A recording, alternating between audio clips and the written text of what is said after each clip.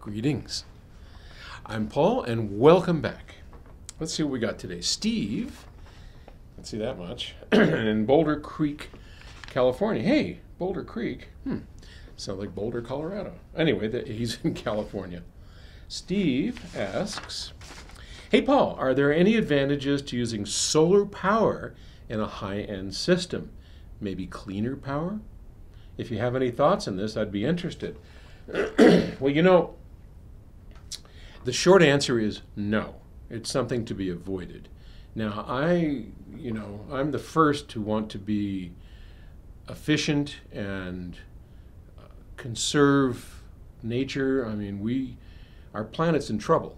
We, we, you know, I know there's a whole bunch of people that don't think global, global warming is real, and I'm sorry that you don't. And I'm not going to start a political debate here, but um, sometimes when things happen very slowly, like this is happening, it's easy to say, no, no, no, it's not happening. But anyway, let's not get into that. We'd like to have less energy used if we can, and so solar energy is is wonderful. I'm as uh, I'm I'm investigating having solar energy in my home, and it's an expensive proposition, but I think it's one that I, I would feel pretty good about doing. And I, am thinking about going with the Tesla system. They, they can come out and, and uh, put up a pretty cool system that you don't even know is there. You don't have all these things sitting on top of the roof. but when it comes to a high end system, batteries and solar power typically are not great. And here's why solar systems produce DC, battery voltage, okay, direct current, and our systems run on AC. Now we can get into the whole thing as I did in Coal to Coal Train about the shame of it all, and the shame of it all is that actually our equipment, our stuff actually does run on DC. And what comes out of the wall is AC, and what comes out of a solar cell is DC. And if our homes weren't set up such that we had AC coming out of the wall, that has to be converted to DC to make our equipment run, we'd be in good shape, right? But that's not the way it works. And there's a whole bunch of reasons, starting a long time ago with Thomas Edison.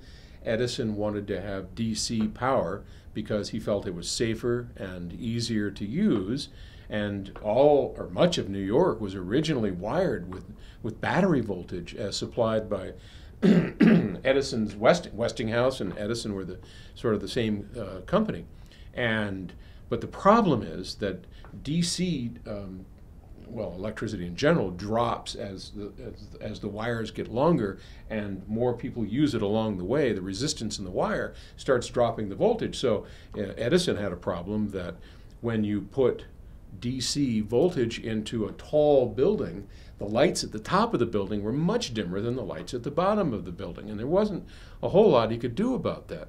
Nikola Tesla came along and said, well, if you start with a very high voltage, then you don't really have a problem because you can take it down to whatever you need it and do that as many times as you want. As long as you don't exceed the high voltage, then you don't have a problem. But with DC, if you start with very high voltage, getting that down to a lower voltage, at least back then, was really problematic, really hard. You would you'd have to convert the voltage into heat.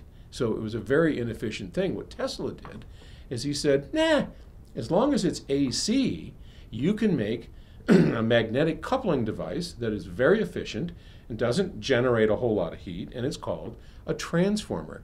So Tesla's system which is what we use today, sends high voltage AC through the big power lines, and then slowly but surely it gets necked down to the 120 or the 230 volts in your home through a series of transformers.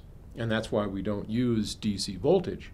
But our stuff does, right? So if you were an electrical engineer or you were handy, then I would say, sure, if you could take pure DC regulated from your solar cells, plug it directly into your high end audio equipment at the correct voltage, then yes, that would be extraordinary and that would be really clean. But that's really hard to do and impractical for most of us.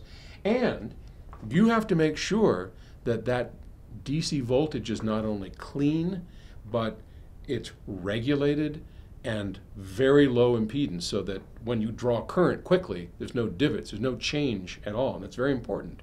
That's something batteries struggle to do unless you have a very big battery. It's one of the reasons why battery voltage is not always accepted in, in high-end circles.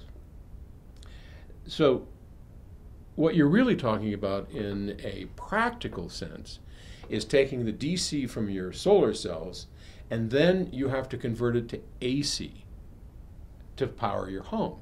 That conversion process is where we run into trouble. Most converters are not all that clean and they don't deliver peak demand current very well. So most of them are class D based.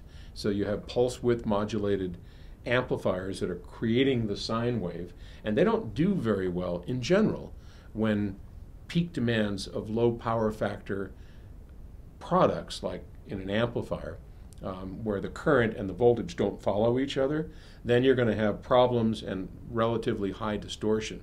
So, in that case, for high end audio products, we're better off sticking to the wall putting it through a power plant, one of our AC regenerators, to, to lower the output impedance even lower and regulate it even better. And that's, that's a better way to go. So great idea. I love the thought process behind it. It's just not exactly what you want to do for, for the highest performance of your stereo equipment. Thanks. Talk to you tomorrow. Bye.